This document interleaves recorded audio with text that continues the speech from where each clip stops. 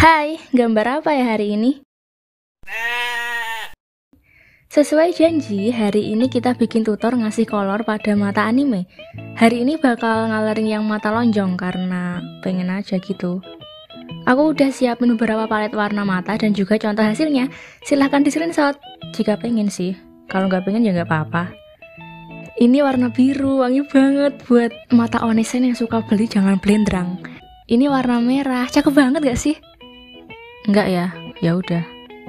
Ini cocok banget buat karakter vampir, nenek-nenek yang suka nyokot indomie godok.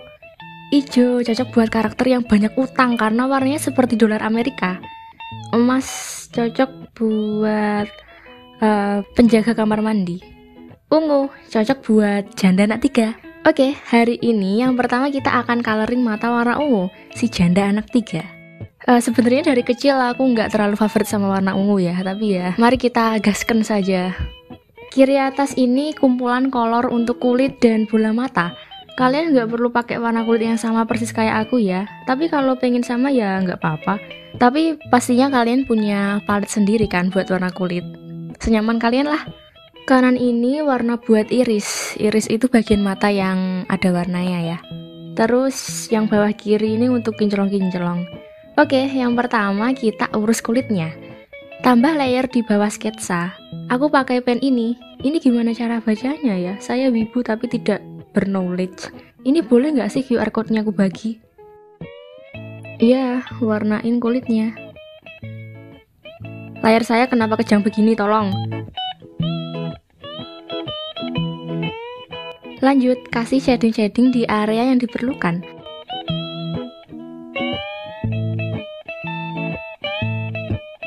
Aku pengen ada kincolong putihnya di sini dan di kantong Jamal. Ganti ke layer line art. Aku ingin garis lipatan matanya warna coklat. Opacity-nya turunin ya biar nggak tebel-tebel kayak Susana. Tambah layer di atas kulit. Kita warnai bola matanya. Aku suka warna butek kayak penyakitan begini ya.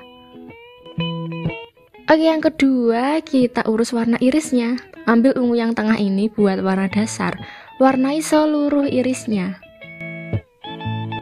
Kembali ke layer line art dan hapus garis irisnya yang setengah bawah ini.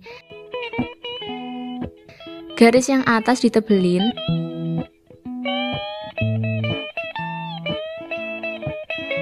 Terus yang bawah pakai ungu tua. Opacity-nya jangan lupa diturunin, biar tidak terlalu tebal seperti Susana. Kembali ke layar iris, kita kasih ungu tua di paling atas. Pastikan sekitar pupil tetap terang ya. Pakai warna paling terang untuk bawah sendiri. Kasih hitam-hitam di bagian atas. Terus dikaburkan. Layer atasnya juga ya jangan lupa agar semuanya kabur. Aku suka mata yang kabur begini ya, warnanya yang kabur bukan penglihatannya. Lanjut, buat layer baru, opacity-nya turunin. Kita bikin kinclong-kinclong.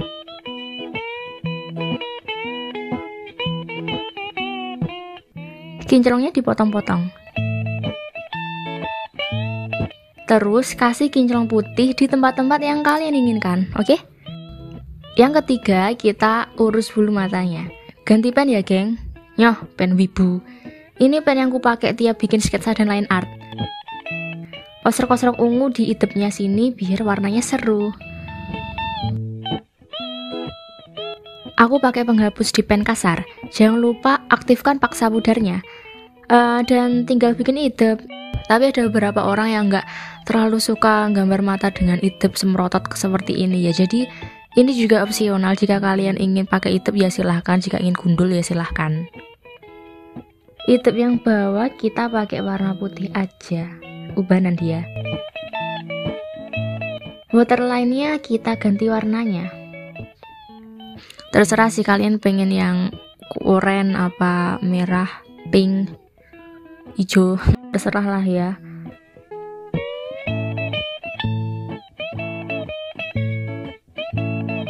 Step terakhir, kita kasih bayang-bayang di sini. Bayang-bayang dari kelopak matanya. Selesai, mata janda anak tiga.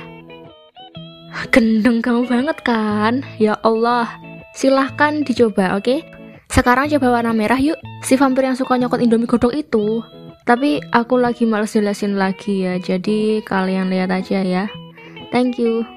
Ngomong-ngomong, aku paling suka yang warna merah karena ya ya bagus aja gitu. Kayak seluman sapi. Kayaknya semua karakter yang kusuka warna matanya merah deh. Mari kita lihat daftar makan malamku hari ini. Bakugo Katsudon, kiri sambal ejiro, kagami tai iga, shinraku sakobe, itachi ucendol, senku isi getuk. Uh, semua makanan saya merah ya ternyata.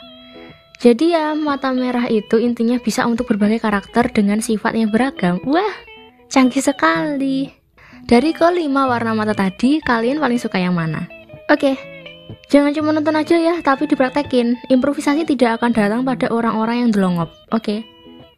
Makasih sudah nonton. Jangan lupa subscribe biar aku bisa makan enak. Dadah. Oh, jangan lupa share ya.